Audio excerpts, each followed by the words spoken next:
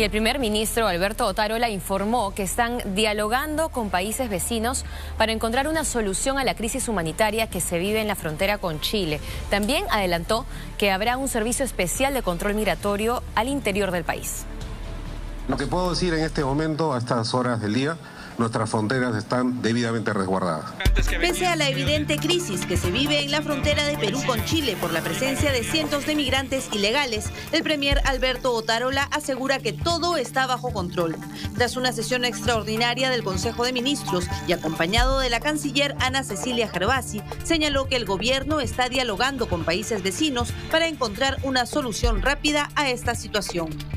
Ya no podemos seguir brindando servicios públicos a quienes ingresan eh, de manera desmedida y descontrolada a nuestro país.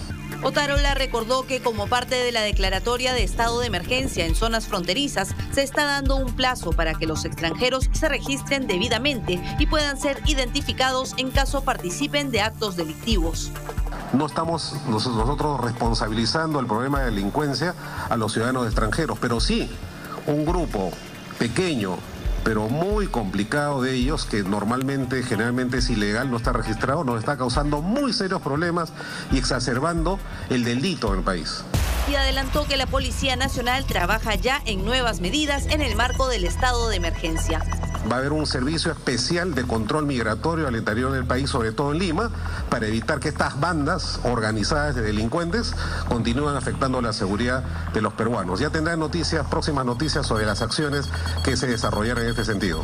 El Premier aprovechó también para anunciar que cerca de 40.000 soldados que pertenecen a las tropas peruanas de las Fuerzas Armadas podrán afiliarse al Seguro Integral de Salud SIS para acceder a sus servicios.